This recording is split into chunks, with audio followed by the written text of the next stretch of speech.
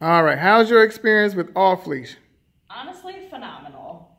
Rambo, this is Rambo, was a very naughty boy before, and now Antoine has made a little angel out of this little man. he is a miracle worker. I don't know how he did it, but he is great now and is so appreciative because now we can actually have a good little boy at the home and everybody will love him.